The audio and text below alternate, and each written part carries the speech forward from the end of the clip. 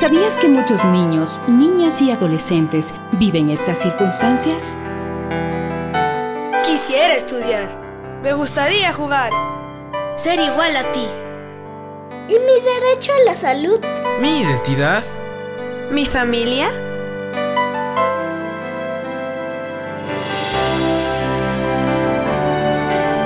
Ser escuchada. Sentirme protegida. Mis derechos. Ser escuchados. Protegidos. Una vida digna. Una identidad. Ser iguales. Estudiar. A la salud. A jugar. No ser explotados. Tener una familia. Y mis deberes. Estudiar con honestidad y responsabilidad. Respetar a nuestros padres y ayudar en el hogar. Estos derechos y responsabilidades garantizan una vida digna. Somos como tú.